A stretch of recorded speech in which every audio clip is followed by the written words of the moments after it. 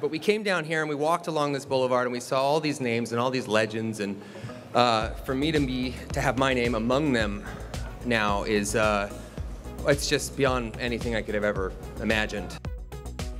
Adept at portraying comedic characters and superheroes alike, he is one of the most dynamic leading men in Hollywood today. Biography presents the story of Ryan Reynolds. He was born in Vancouver in 1976. A nervous and sensitive child, he began acting in various Canadian teen television shows before moving to Los Angeles.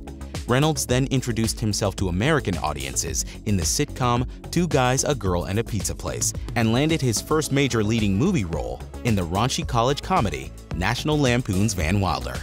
Reynolds' good looks also drew significant media attention as he appeared multiple times on People magazine's Sexiest Man Alive list. Headlining big-budget films like Green Lantern and The Proposal, Reynolds split his time between action and comedy projects, though many of them performed unevenly at the box office.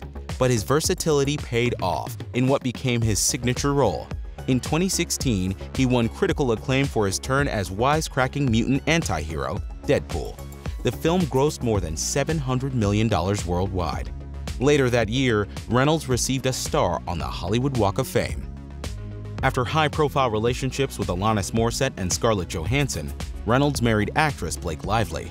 They have two daughters, James and Inez.